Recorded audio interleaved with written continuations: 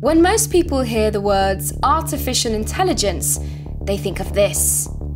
I'll be back. Instead of the many ways people interact with AI every day.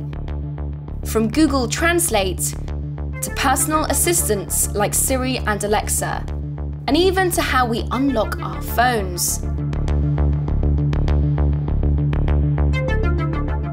Computer scientist John McCarthy coined the term artificial intelligence way back in 1955. But by then, others had already started to think about what AI would look like, most notably Alan Turing. His Turing test set an early and still relevant bar to see if artificial intelligence measures up to human intelligence. The test is simple. If you can have a conversation with an AI and not notice that you're talking to an algorithm, well then it's passed. Here's how McCarthy defined AI. It is the science and engineering of making intelligent machines, especially intelligent computer programs. Humans spent the several decades after imagining what that could lead to. Perhaps most vividly in Stanley Kubrick's 2001 A Space Odyssey. I'm sorry, Dave. I'm afraid I can't do that. We're still a long ways away from creating artificial general intelligence, a self aware entity like that.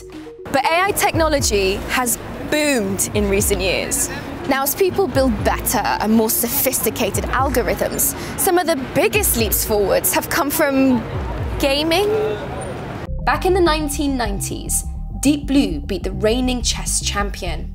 In 2011, IBM's Watson won at Jeopardy against two of the world's best players.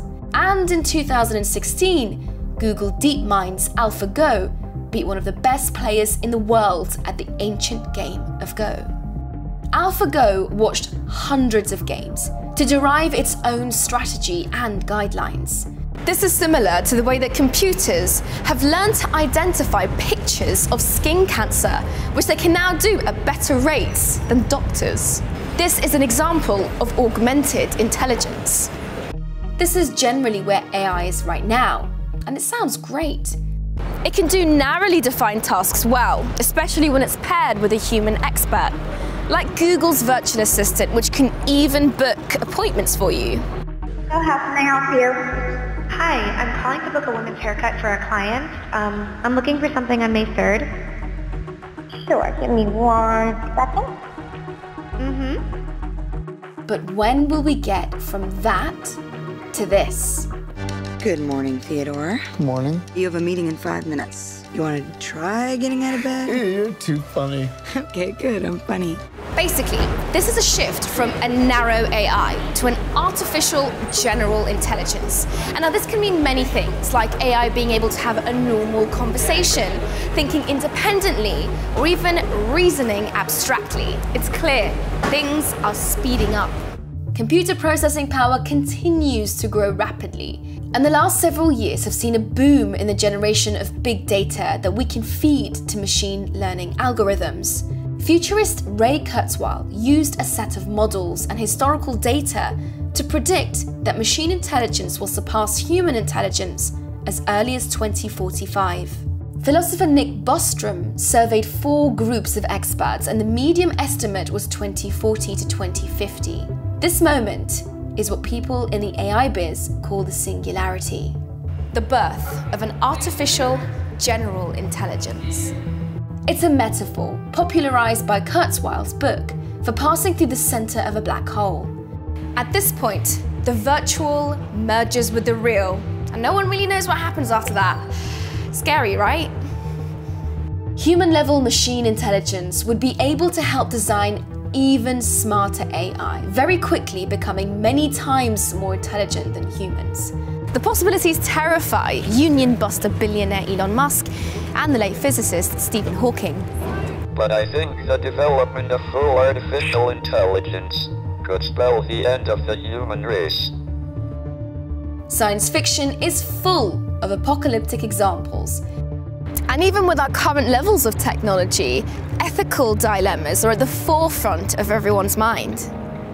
In 2016, Microsoft released an AI chatbot on Twitter named Tay. They had to take it offline within 24 hours. Learning quickly from Twitter trolls, it started posting extremely offensive and even racist tweets. And devices that constantly listen to your every word present a very real privacy concern as well. Another example is facial recognition software. Recently, Amazon had to answer questions from Congress when a program it sells to law enforcement, Rekognition, matches the faces of dozens of lawmakers to those of criminal mugshots. In the courtroom, judges can and do use an AI called COMPAS, which can determine if a convicted criminal is likely to commit another crime. And guess what? An investigation by ProPublica discovered that COMPAS was almost twice as likely to misclassify black defendants as higher risk than their white counterparts.